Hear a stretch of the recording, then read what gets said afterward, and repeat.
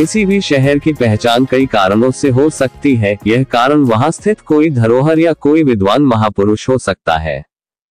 हरदोई के मुसलमान हिंदी कवियों का हिंदी साहित्य में बड़ा योगदान रहा है। पिहानी के रसखान को तो हमें पढ़ाया जाता है। लेकिन बिलग्राम के मुसलमान हिंदी कवियों को भुला ही दिया गया। इनकी अवहेलना से हिंदी का बहुत नुकसान हुआ है। अपने इस अंक में हम पिहानी के प्रसिद्ध हिंदी कवि, रसखान, के बारे में जानेंगे। बिलग्राम के मुसलमान हिंदी कवियों के बारे में अगले अंक में जानेंगे। हमने पिहानी के पत्रकार श्री अतुल कपूर जी से रसखान के बारे जानना में चाहा तो उन्होंने बताया। जन्म लेने वाले रीतिकालीन ऐसे कवि हैं जिन्होंने कृष्ण भक्ति की ऐसी सुधारस धार बहाई कि आज हिंदी साहित्य में उनका अमिट स्थान बना हुआ है। वे पिहानी के पश्चिमी सराय मोहल्ले में जन्मे आज भी सुलेमान शाह उनके वंशज जो थे, उनकी मजार यहाँ पर हिंदुओं और मुसलमानों दोनों के लिए श्रद्धा की केंद्र है।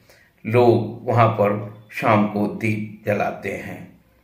सैयद इब्राहिम पिहानी वाले के नाम से वे साहित्य जगत में मशहूर रहे। हरदोई ज़िले के ही बिलग्राम कस्बे के एक और समकालीन कवि हुए रसलीन। श्री कृष्ण की लकुटी और कामरिया पर तीनों लोगों का राज न्यौछावर करने को तत्पर मध्ययुगीन अमर कविराज रसखान के सवैये और दोहों से शायद ही कोई हिंदी प्रेमी अपरिचित होगा। किंतु बहुत कम लोगों को पता है कि उनका जन्म हरदोई ज़िले के पिहानी कस्बे में मोहल्ला मीर सराय में हुआ था। बाल्यकाल पिहानी में बिताकर वे दिल्ली चले गए। उन दिनों पिहानी का दिल्ली दरबार में रुतबा था।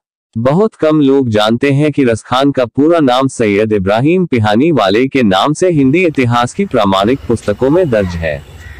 पिहानी के मोहल्ला मीर सराय में इनके पैतृक आवास के भूमिगत भग्नावशेष और उनके परिवार के सुलेमान शाह की मजार आज भी मौजूद है। उनका पैतृक आवास अब गिरकर एक टीले का रूप ले चुका है। इसी टीले पर सुलेमान शाह की मजार बनी हुई है। रसखान की गंगा जमनी परंपरा यहाँ आज भी कायम है। और इस मजार पर हिंदू और मुसलमान दोनों समुदायों के लोग आस्था रखते हैं। इसी के पास एक विशाल फाटक कंघी ईंटों का बना हाथ था। इसे रसखान का फाटक कहा जाता था, जो 40 वर्ष पूर्व गिर गया। इस फाटक की नींव अभी भी मौजूद है। अनेक प्रामाणिक पुस्तकों में भी इस बात का उल्लेख है कि रसखान का जन्म हरदोई ज़िले के पिहानी कस्बे में हुआ था। श्री शिव सिंह सरोज ने इनको सैयद इब्राहिम पिहानी वाले लिखा है।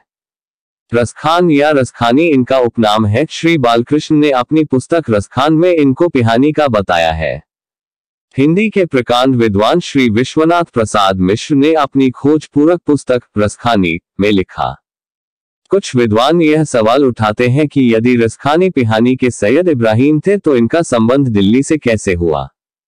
यह प्रश्न विचारणीय है। दो सौ चौरासी वैष्णवन की वार्ता में रसखानी दिल्ली के पठान कहे गए हैं।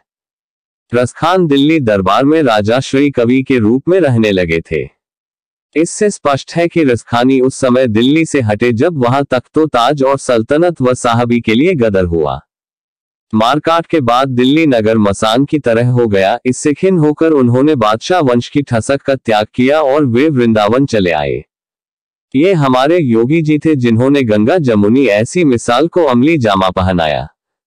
हाल ही में UP chief minister Shri Yogi ji ने वृंदवन में रसखान की समाधि का सुंदरीकरण करवाया है।